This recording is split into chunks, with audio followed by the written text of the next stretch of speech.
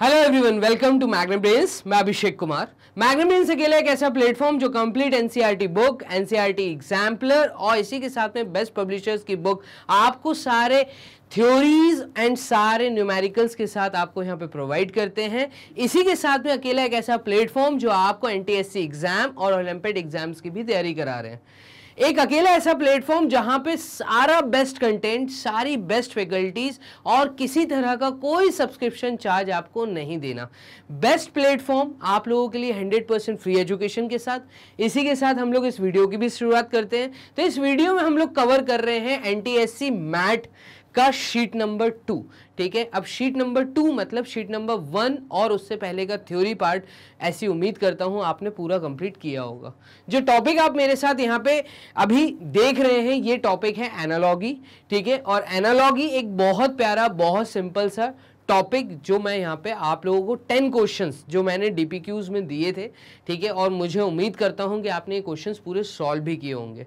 तो ये सवाल मैं आपके सामने सॉल्यूशंस के सामने साथ में रख रहा हूँ ठीक है? तो पहला सवाल जो कि डीपीक्यू शीट टू में था वो आप लोगों के सामने है। सिंपल सा सवाल था ठीक है? तो for the following question choose the correct option और इस तरह की एनालॉगी मतलब ये वर्ड एनालॉगी है जहाँ पे बेसिकली आपको कोई शब्द दे दिया जाता है। उसके साथ उसकी किसी के साथ में आ, मैं ऐसा बोलूँगा कंपैरिजन करते हुए ठीक है? आपको कोई दूसरे शब्द का वर्ड ढूंढना होता है। मतलब एक शब्द का कंपैरिजन ठीक है, किसी चीज़ का कंपैरिजन किसी पर्टिकुलर लेटर्स के साथ में किया होता है और इसी से मिलता जुलता सेम जो कंसेप्ट यहाँ पे यूज़ हुआ होगा, वही पैटर्न हमें इस वर्ड के लिए ढूंढना है। जब भी इस तरह के सवाल आपको आए, ठीक है, आपको कुछ नहीं, आपको लेटर्स लिख लेने हैं। सिंपल से जो तरीका मैंने आपको सिखाया था, आपको C O U N S E L दिया हुआ है। ठीक है? अब जैसे ये दिया है तो आपको जिस, इसकी इसकी कंपैरिजन जिस चीज़ से ऑलरेडी करके दिया है, उसको आप लिख लो। ठीक है? तो यहाँ पे मैं लिख लूँगा B I T I R A के ठीक है, इसके साथ इसका कंपैरिजन किया हुआ।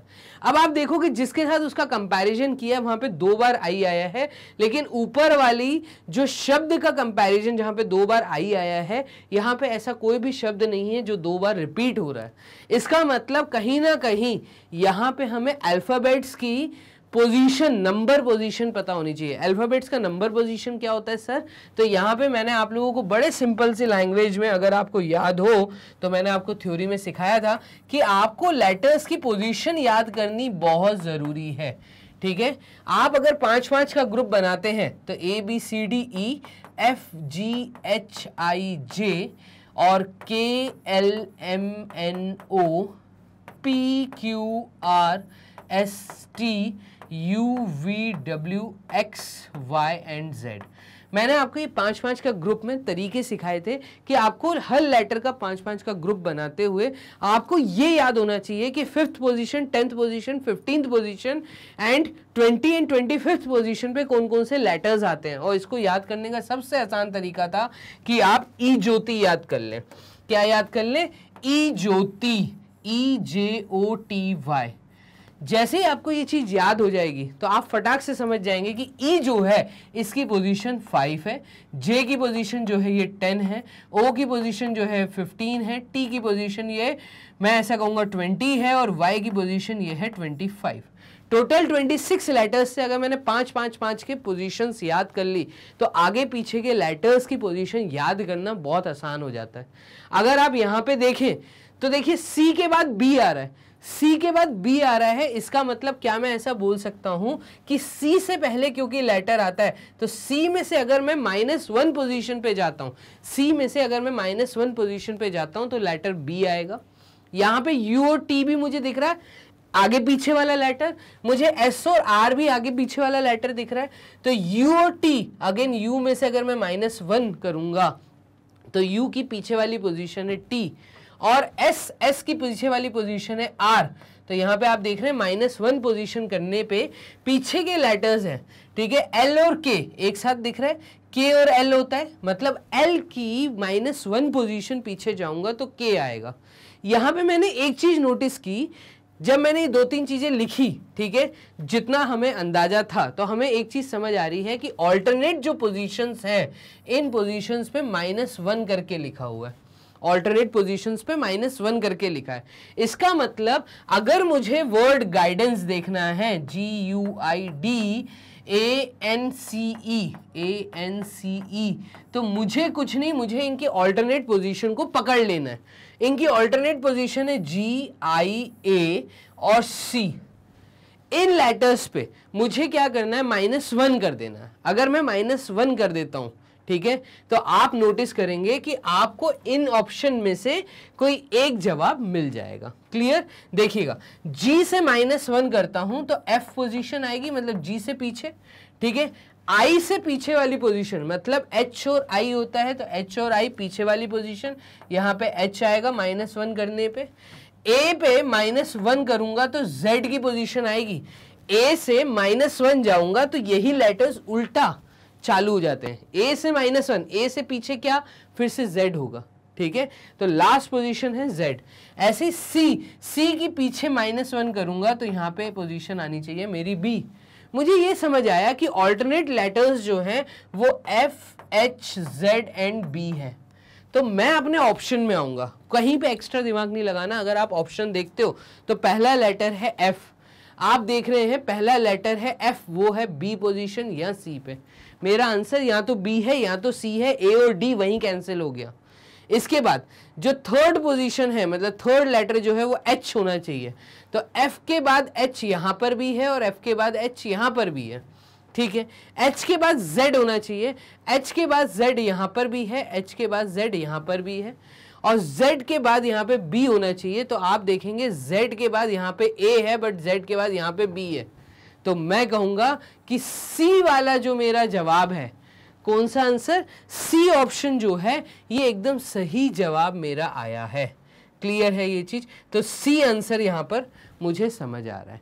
क्लियर तो as council is to this letter so as to guidance is to what तो गाइडेंस के लिए हम जो कोडिंग कर सकते हैं, वो है F O H Y Z J B B ये पोजिशन हम दे सकते हैं लेटर्स को। ठीक है, बाकी जगह मैं दिमाग नहीं लगाऊँगा क्योंकि सी ऑप्शन आ रहा है। ऑल्टरनेट पे मुझे वो लेटर्स मिल रहे हैं, हम जल्दी से टिक करेंगे और आगे बढ़ेंगे। क्लियर है? चलिए चेक कर लेते हैं, क्या हमारा दिया हुआ जवाब एकदम सही है? सी इसका आंसर है क्या? तो देखिए ग्रीन टिक भी हमारा सी ऑप्शन पे आया। That means question number one का आंसर सी हमारे सामने। मूव करते हैं क्वेश्चन नंबर टू की तरफ़।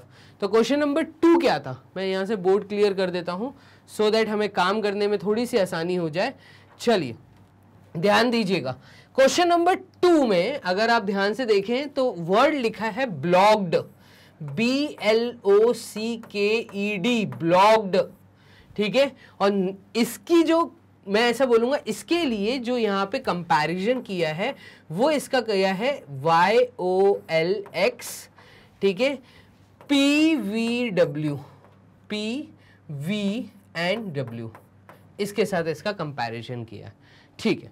अब मुझे ढूंढना है O Z F M X S के लिए।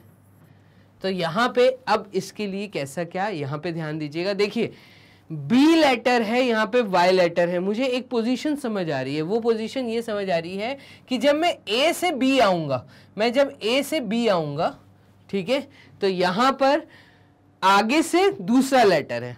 जब मैं Z से पीछे चलूँगा तो पीछे से दूसरा लेटर ठीक है? मतलब अगर यहाँ पे मैंने B लिखा है, ठीक है? तो इस B मतलब पीछे से भी इसकी जो पोजीशन आगे से है, पीछे से वो पोजीशन आपको दिखनी चाहिए।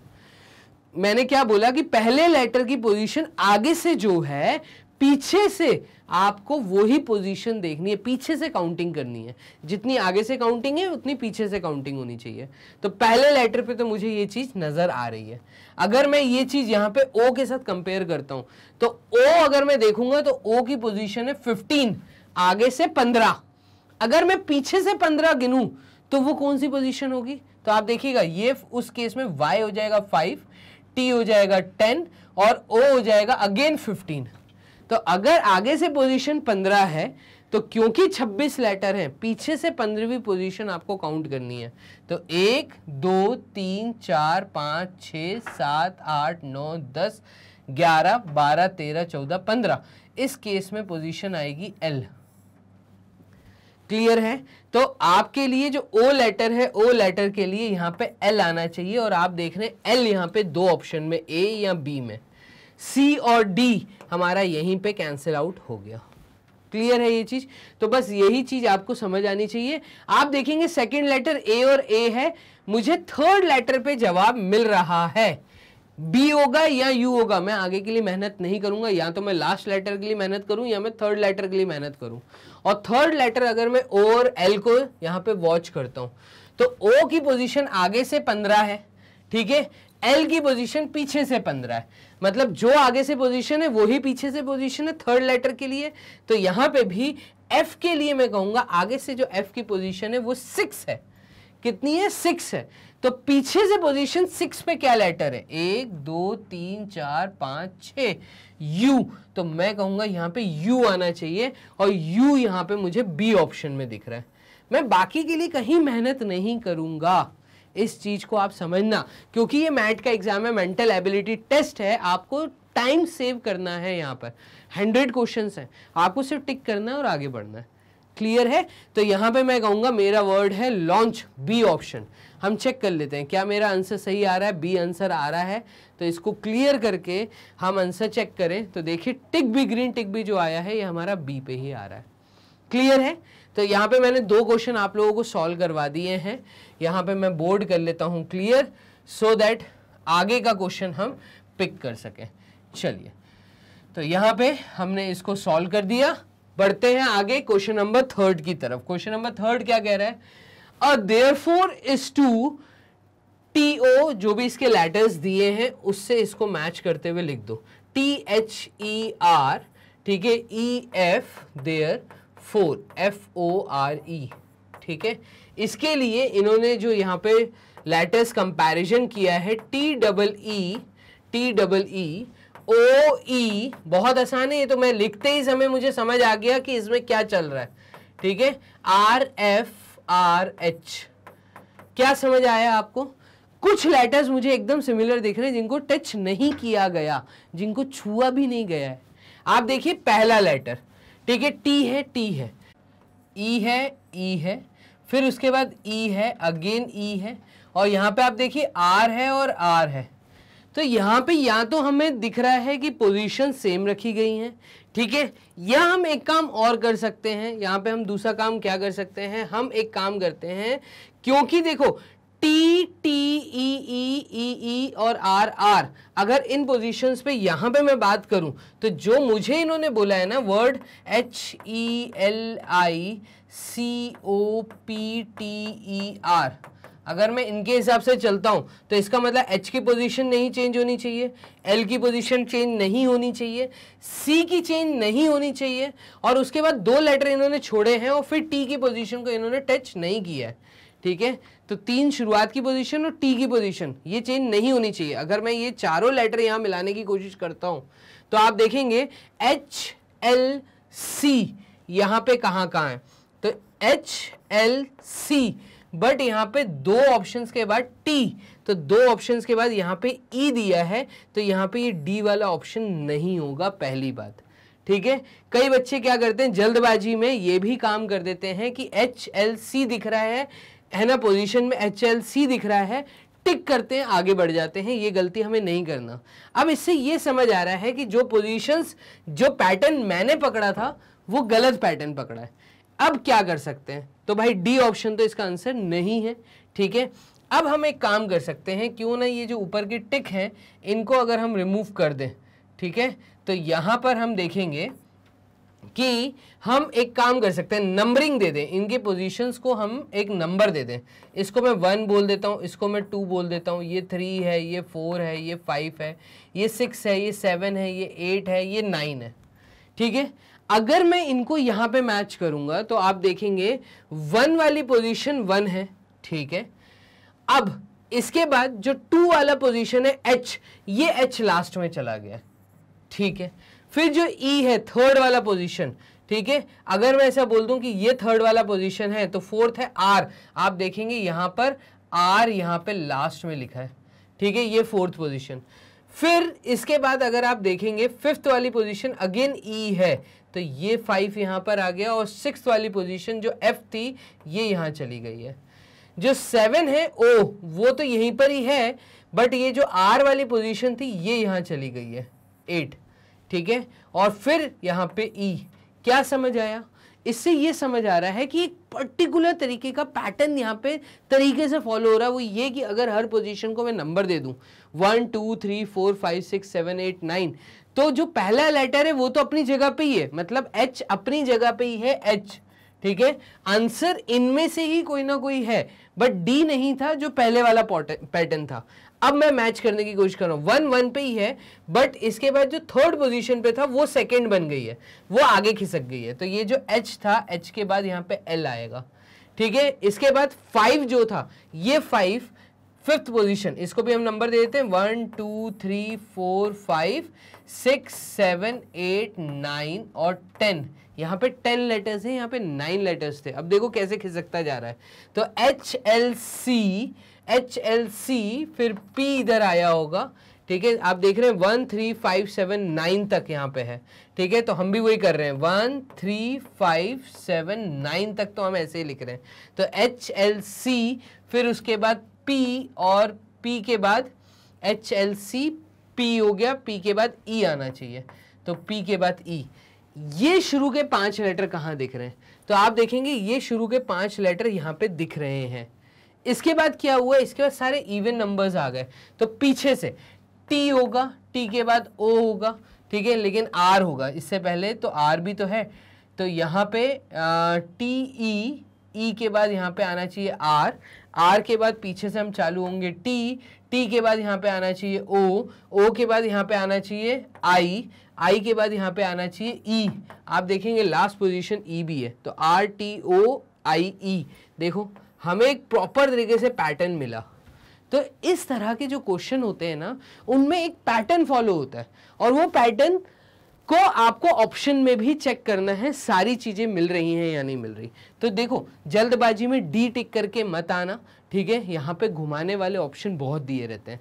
तो क्वेश्चन नंबर थ्री का आंसर सी ऑप्शन मैंने यहाँ पर दिया है। चलो चेक कर लेते हैं। क्या इसका आंसर सी है? तो बोर्ड क्लियर करके हम आंसर सी चेक कर लेते हैं। क्या है? यस आप देखिए ग्रीन टिक जो है, वो हमारा सी ऑप्शन पे आ रहा है। मूव करते हैं क्वेश्चन नंबर फोर्थ की तरफ़. फोर्थ क्वेश्चन क्या कह रहा है? बोर्ड कर लेते हैं क्लियर तो फोर्थ क्वेश्चन हमें क्या कह रहा है? इस पे ध्यान दीजिएगा. चलिए.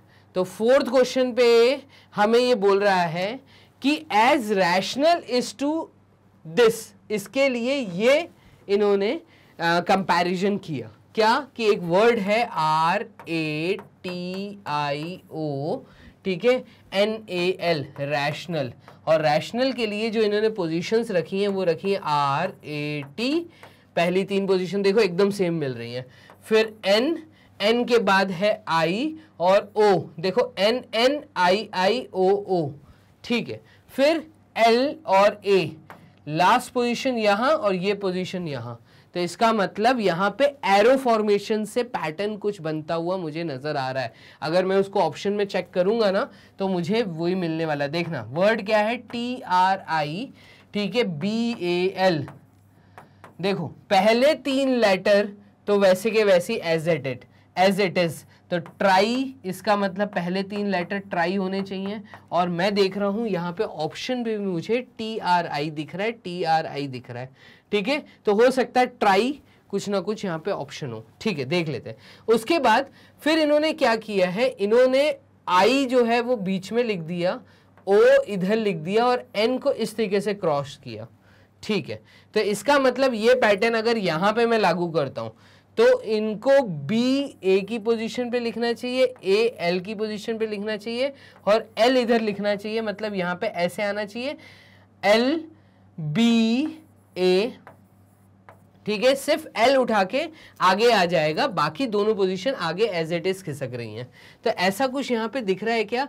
T R I L B A T R I L B A देखो, ये दिख रहा है। ए ऑप्शन मुझे यहाँ पे दिख रहा है। ठीक है? क्योंकि यहाँ पे दो लेटर ज़्यादा थे। अगर यहाँ कोई लेटर्स होते तो मैं उनको क्रॉस खेलता। ठीक है क्रॉस में चलता, क्योंकि वो क्रॉस वाला पैटर्न यहाँ नहीं आ रहा, सीधा और ऐसे, कि उसके बाद के जो लेटर उनको आगे खिसका दिया लास्ट लेटर को दो पोजीशन पीछे कर दिया। तो यहाँ पे ये एरो पैटर्न भी हम एक यूज़ करते हैं। क्लियर है? तो मैं, मेरे हिसाब से आंसर इसका ए ऑप्शन होना चाहिए। क्वेश्चन नंबर फोर्थ में क्या ए आंसर है? यस देखिए ग्रीन टिक भी हमारा ए पे, यहाँ पे हमें दिख रहा है। क्वेश्चन नंबर फोर्थ का आंसर ए आ गया है। बोर्ड क्लियर करके हम मूव करते हैं क्वेश्चन नंबर फाइव की तरफ़। तो क्वेश्चन नंबर फाइव क्या कह रहा है? उसको देखिएगा। क्वेश्चन नंबर फाइव आपसे कह रहा है as circle is related to this क्या दिया सी आई आर ठीक है? सी एल ई देखो, मैं इतना जो लिख रहा हूँ ना फैला फैला के लेटर्स को, यहाँ कहीं ना कहीं ऐसे लिखने पे आपको पैटर्न मिलता हुआ दिख जाता है, जब आप लेटर लिख रहे होते हो। तो ये छोटा सा ट्रिक पकड़ लो या टिप पकड़ लो, ठीक है? आप जो इसको बोले तो ट्रिक एंड टिप भी मैं साथ साथ देता जा रहा हूँ। आर आई सी देखो आर आई आर आई सी ठीक है? ई एल सी मतलब जो लेटर्स ऊपर लिखे, उन्हीं लेटर्स की पोजीशन चेंज कर दी है। बस, कोई भी नया लेटर इंट्रोड्यूस नहीं हुआ है। तो हम यहाँ पे नंबर पैटर्न ना यूज़ करते हुए, आप यहाँ पे एरो पैटर्न यूज़ कर लो। ठीक है? एरो पैटर्न मतलब यहाँ पे आप पोजीशंस देखो क्या बन रही हैं। सी को इन्होंने यहाँ लिखा है आई को आई के नीचे लिखा है। ठीक है? और आर को ऐसे कर दिया। तो देखो यहाँ पे क्रॉस बनता हुआ नज़र आएगा। कैसा क्रॉस है? पहले तीन लेटर में आर आर सी सी ठीक है? फिर सी सी ई ई तो देखो, एक क्रॉस पैटर्न बन रहा है। अगर मुझे वर्ड ढूंढना है स्क्वायर के लिए S Q U A R E और यही क्रॉस पैटर्न अगर मैं खेलता हूँ तो ये यू आगे आ जाएगा, ये एस यहाँ चला जाएगा, ये आर यहाँ आ जाएगा, ये ए यहाँ आ जाएगा। क्या ऐसा कुछ मुझे मिल रहा है तो देख लेते हैं। यू एस क्यू ऐसे का ऐसे ही कॉपी हो जाएगा। आर ऐसे का ऐसे ही कॉपी हो जाएगा। ये ई e आगे आ जाएगा और ए पीछे चला जाएगा। ऐसा कुछ कहीं पे लिखा हुआ दिख रहा है तो आप देखो, पहला लेटर यू ए और बी में दिख रहा है। फिर उसके बाद मुझे यहाँ पे दिख रहा है क्यू क्यू दोनों में देखो। यू क्यू एस तो यू क्यू एस दोनों पैटर्न सेम है। फिर उसके बाद E R A E R A मुझे यहाँ दिख रहा है। ए ई आर नहीं ई आर ए तो मैं कहूँगा आंसर है ए ऑप्शन क्या है answer A option answer check कर लेते हैं। क्या ए ऑप्शन आंसर है? तो बोर्ड क्लियर करके ये भी चेक कर लेते हैं। यस देखिए ग्रीन टिक भी हमारा ए ऑप्शन पे ही आया। क्लियर है आप लोगों को कैसे चीज़ों को सॉल्व करना है? तो यहाँ पर हम कर देते हैं बोर्ड क्लियर फाइनली पाँच क्वेश्चन हमने यहाँ सॉल्व कर लिए हैं। मूव करिए क्वेश्चन नंबर सिक्स की तरफ़। सिक्स क्वेश्चन क्या कह रहा है? तो यहाँ पे आप देखेंगे, ये आपसे कह रहा है choose the correct option on the basis of similar pattern in pyramid given below तो यहाँ पे कुछ नंबर्स लिखे हुए हैं रेशियो उनके बीच में है। आपसे एक पोजीशन नहीं पता क्या है तो एनालॉगी में ये पिरामिड वाला भी आ सकता है। जिस चीज़ को हमने डीपीक्यू वन और थ्योरी बेस में नहीं किया था, एक नया पैटर्न आपको मैं कहूँगा डीपीक्यू टू में देखने को मिल रहा है। यहाँ पे क्या है, आपको नंबर्स एक पिरामिड में लिखे हुए दिख रहे हैं और सब सीरियल वाइज दिख रहे हैं। देखो one two three four five six four five six seven eight nine ten eleven twelve thirteen fourteen fifteen sixteen seventeen तो ये देखो, ये ऐसे फॉर्मेशन चल रहा है। ठीक है, इससे कोई मतलब नहीं है पहली बात। ठीक है, इससे कोई मतलब नहीं है। ठीक है, ये nine ten sixteen seventeen twenty five twenty six thirty six thirty seven और ये जा रहा है फोर्टी नाइन तक। ठीक है। यहाँ पे हमें पैटर्न पकड़ना है। क्या पैटर्न पकड़ना है कि अगर कोई नंबर लिखा है यहाँ पे 28 और 12 2812 तो देखो 2812 क्या मैं ऐसे एक ब्लॉक बना सकता हूँ? वर्टिकल पोजीशन में 2812 ये लिखा हुआ है। फिर उसके बाद लिखा है 765 तो आप देखेंगे यहाँ पे लिखा है 765 ठीक है? फिर उसके बाद एक ही लाइन में चीज़ें लिखी हुई हैं।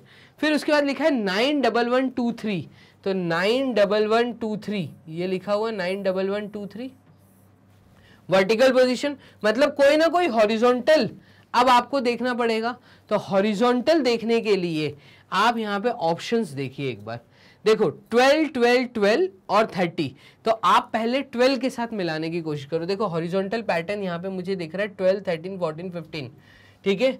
तो यहाँ पे दिख रहा है 12 13 14 ट्वेल्व थर्टीन फोर्टीन एकदम आंसर हो सकता है। क्यों मैं ऐसा बोल रहा हूँ? देखो पैटर्न कैसा बन सकता है? तो यहाँ पे अगर मैं ऐसा बोलूँ कि एक वर्टिकल लिया, उस वर्टिकल में जो सेंटर नंबर था एट उस एट के सामने वाली हॉरिजॉन्टल लाइन ले ली। हो सकता है ये पैटर्न हो, ठीक है? फिर उसके बाद इन्होंने एक वर्टिकल आपको दिया, इस वर्टिकल के सेंटर में है इलेवन इस इलेवन के सामने वाली हॉरिजॉन्टल पट्टी, वो है बारह, तेरह, चौदह और वो मुझे ऑप्शन में भी दी है, ठीक है? तो देखो ट्वेल्व थर्टीन फोर्टीन मैं कहूँगा इसका आंसर बी है क्लियर बी है, क्योंकि एक पर्टिकुलर पैटर्न फॉलो हो रहा है और जो मैंने पैटर्न पकड़ा, वो मुझे ऑप्शन में भी दिख रहा है। मैं कहूँगा क्वेश्चन नंबर सिक्स का आंसर बी होना चाहिए। क्लियर करते हैं? बोर्ड आंसर चेक करते हैं? यस देखिए ग्रीन टिक भी हमारा बी ऑप्शन पे आया। तो इस तरीके से आपको ये बहुत इजी हो जाता है। ये पिरामिड दिया रहेगा पेपर में बना हुआ। आपको सिर्फ़ चीज़ें पकड़नी है। क्लियर है? चलिए मूव करते हैं क्वेश्चन नंबर सेवेंथ की तरफ़। सेवेंथ क्वेश्चन क्या कह रहा है? अगेन यहाँ पे एक पिरामिड बना हुआ है और वन टू नाइन लिखा है। अब देखो वन टू नाइन ये देखो, ये दिख रहा है मुझे वन टू नाइन। ठीक है? इस तरीके से टेढ़े में। ठीक है? फिर लिखा है वन फोर फाइव। तो वन फोर फाइव, ये पैटर्न बनाता हुआ दिख रहा है मुझे वन फोर फाइव। देखो, ऐसे में एक तरह का वी बन रहा है। अब यहाँ पे बोला थ्री एट डबल वन। तो थ्री एट डबल वन, अगर मैं इसको ब्लू पेन से दिखाऊँ आपको तो ये रहा आपका थ्री एट डबल वन का पैटर्न ठीक है? तो इसका मतलब ऐसा ही वी यहाँ पे बनेगा। तो नेक्स्ट नंबर आपका थ्री को इंक्लूड करते हुए यहाँ पे होना चाहिए three six fifteen three six one five और थ्री सिक्स वन फाइव मुझे डी ऑप्शन में दिख रहा है। ठीक है, देखना। One two nine one four five आगे वाले नंबर वन को इंक्लूड किया गया था, इसलिए मैंने थ्री को भी इंक्लूड किया है। तो थ्री सिक्स वन फाइव ये हमें डी ऑप्शन में दिख रहा है। क्लियर है? यही पैटर्न को हमें पकड़ना है, कुछ भी दे सकते हैं वो। वर्टिकल बार दे देंगे हॉरिजॉन्टल बार दे देंगे, कोई एक पर्टिकुलर फॉर्मेशन दिखा देंगे। तो मैं कहूँगा क्वेश्चन नंबर सेवन का आंसर है डी ऑप्शन बोर्ड कर लेते हैं क्लियर आंसर चेक करते हैं। यस देखिए, मेरा ग्रीन टिक भी डी ऑप्शन पे मुझे यहाँ दिख रहा है। मूव करते हैं क्वेश्चन नंबर एट्थ की तरफ़। एट्थ क्वेश्चन क्या कह रहा है? तो एट्थ क्वेश्चन में यहाँ पे ये कह रहा है कि in each of the following question some words are given कुछ शब्द आपको दिए हुए हैं। विच are related in some way और उनका कुछ ना कुछ एक रिलेशन है आपस में। The same relationship is obtain among the words in one of the four alternative given under it ठीक है? फाइंड द करेक्ट ऑल्टरनेटिव आप बताइए, क्या वो सही आंसर होगा? तो एनालॉगी में एक इस तरह के भी पैटर्न आते हैं। क्या बोला है इन्होंने? In each of the following question some words are given which are related in some way और ये तीनों के तीनों का आपस में कुछ एक रिश्ता है रिलेशन है। आपको उस रिलेशन को पकड़ना है। The same relationship is obtain among the words ठीक है in one of the four alternative और वही सेम रिलेशन यहाँ पे इन चार ऑप्शंस में कहीं पे आपको दिखेगा। ठीक है? तो आपको वो पैटर्न पकड़ना है। चलो, एक काम करते हैं पहले रीड करते हैं, क्या दिया है? तो क्वेश्चन नंबर एट में मुझे पहला वर्ड दिया है रिसर्चर फिर हिस्टोरियन और वर्ड दिया है स्कॉलर स्कॉलर कौन होते हैं? तो यहाँ पे स्कॉलर बेसिकली किसी स्टूडेंट को बोला जाता है। ऐसा बंदा जो किसी चीज़ का मतलब उसमें जब डीप नॉलेज रखता हो, ऐसे डीप नॉलेज रखने वाले स्टूडेंट को स्कॉलर बोला जाता है।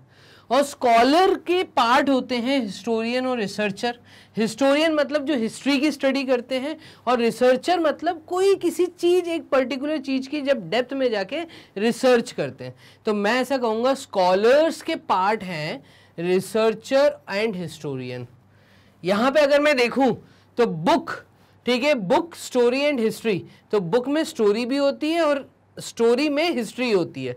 ठीक है? स्टोरी हिस्ट्री की भी हो सकती है। मतलब किसी न किसी पुरानी चीज़ों की स्टोरी ठीक है? जो बुक में लिखी हो।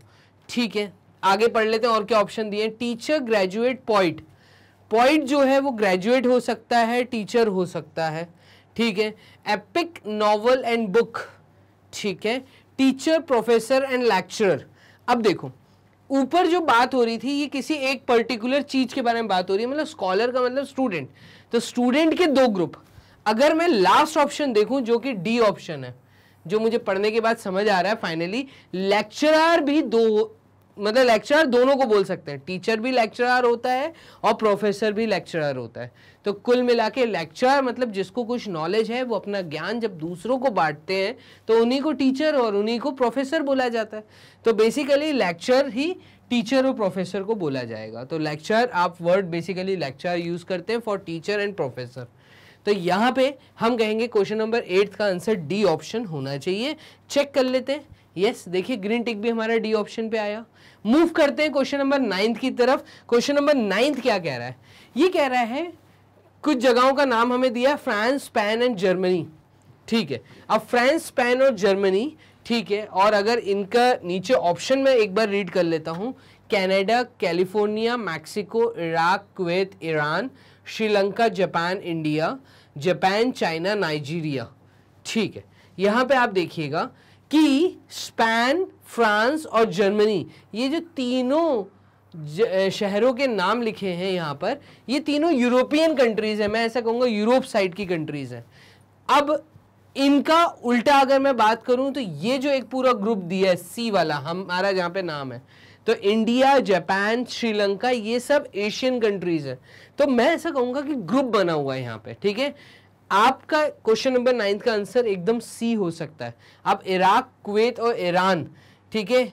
ये कहीं का ग्रुप नहीं है, कुल मिला के इनको हटा दीजिए। कनाडा, कैलिफ़ोर्निया, मैक्सिको नहीं, जापान, चाइना, नाइजीरिया, मैं कहूँगा श्रीलंका, जापान, इंडिया, ये एशियन कंट्री का एक ग्रुप है।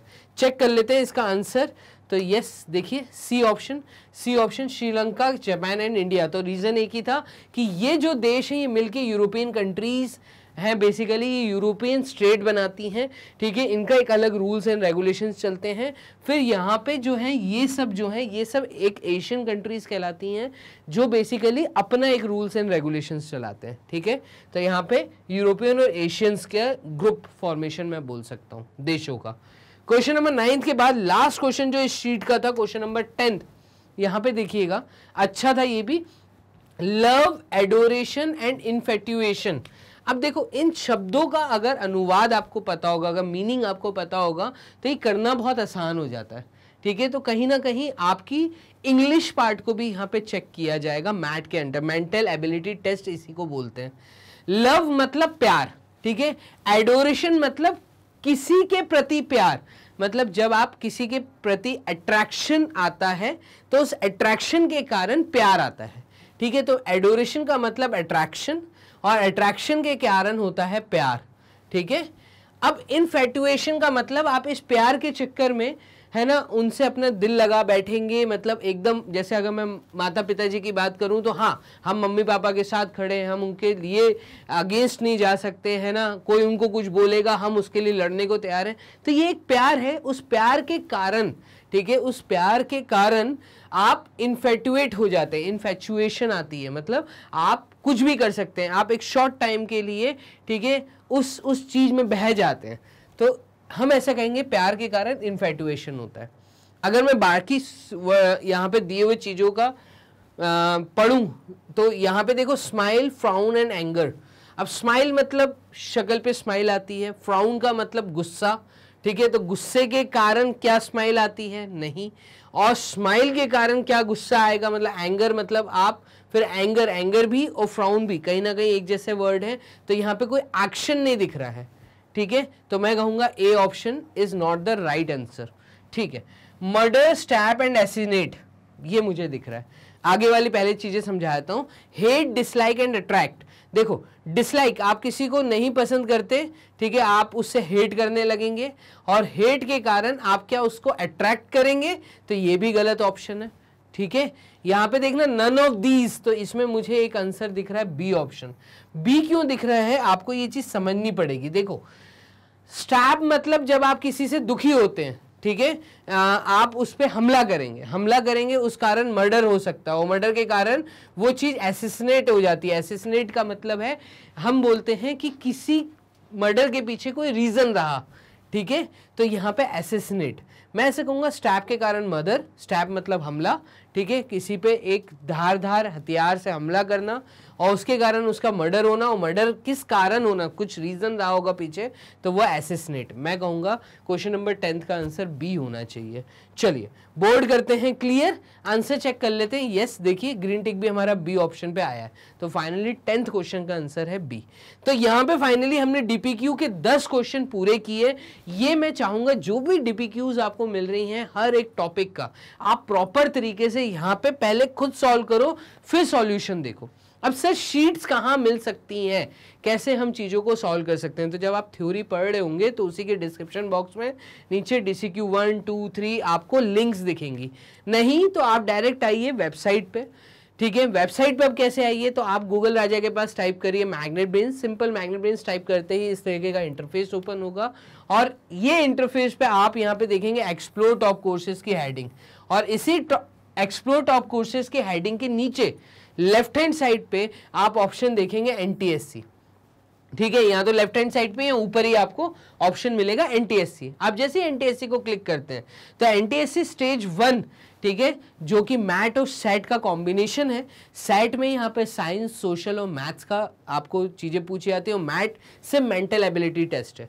तो आपके सेट के लिए यहाँ पे विभूति मैम है, राहुल सर है, रिया चौहान मैम है।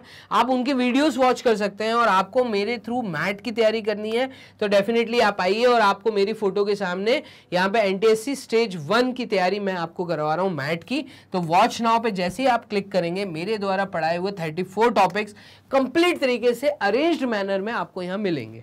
जैसे कोई टॉपिक आप क्लिक करते हैं, उसके नीचे आपको थ्योरी भी है, उसके साथ कुछ क्वेश्चंस भी हैं। और उसी के साथ D C Q one D C Q two D C Q three यहाँ पर प्रॉपर अरेंज फॉर्म में आपको मिलेगी। आपको जोन सी शीट करनी है तो जोन सा टॉपिक करना है एनालॉगी करना है। एनालॉगी को आप क्लिक करेंगे तो आपको पहले थ्योरी मिलेगी, फिर D C Q one D C Q two दिखेगी।